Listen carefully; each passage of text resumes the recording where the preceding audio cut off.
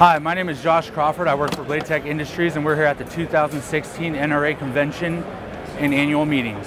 Uh, today I got the uh, signature uh, OWB series for our Glock 17. It's a new model that we're coming out with this year.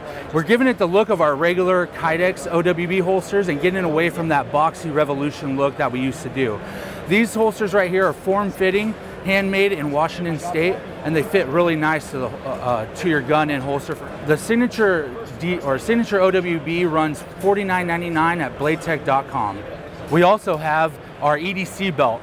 This belt is a biothane material it's a material they use in equestrian products. Uh, we use it for our belt products now. Uh, it has a nylon filler so there's no stretching along the holes. We have a seven hole, seven holes here so you get one inch of uh, play either way so when you're carrying inside the waistband you can stretch the belt out to make it work for what you need. Uh, this belt holds up well under pressure especially when you're carrying.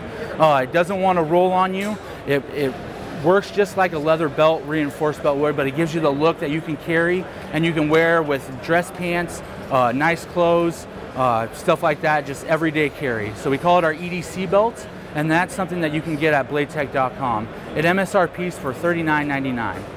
Also here at the NRA show, we have our Pro Hunter. Uh, this is S30V steel with a G10 handle, a nested liner. These MSRP for $119.99 at bladetech.com.